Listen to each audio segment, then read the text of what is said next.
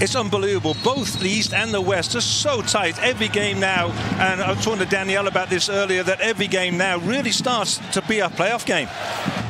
And they'll try Marcos Lopez on the left side.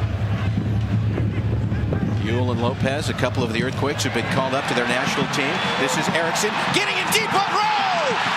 Goal! San Jose! Four minutes in, how do you do?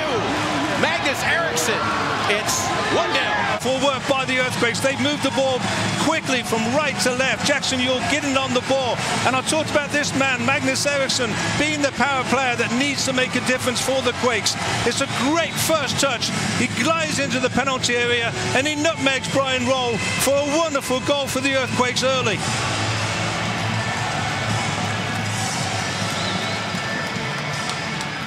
Just the start the Quakes were looking for. Vako. Referee in the way there. Jungwirth, left-footed cross, headed back. Jackson Yueill tried to settle it, but didn't have as much time as he thought. On that initial free corner kick that came in, referee Petrescu got in the way of Vako. What a good ball this is, with his left foot by Flo Jungwirth into a space where hit. Former Portland Timber Uri Rosell. Uri Rosell rather rolls that to Vega. Out from the back through the goalkeeper to get the striker goal. Not bad. How about Vako through to Wondolowski? Is he onside? Is he onside?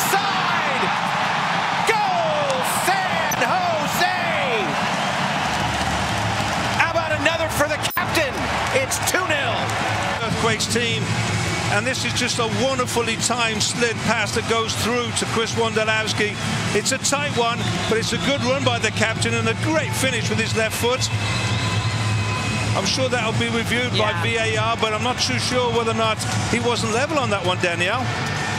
I mean, are we talking World Cup VAR? Are we talking MLS VAR? Because to me, that looked just a hair offside, but I don't love it when it's that close to go back and re-ref and re-review the game.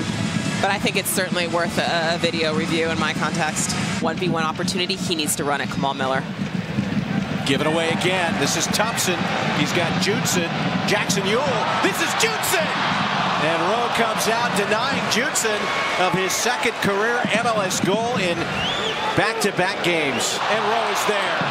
Will Thompson give it a try? Ricochet inside the 18.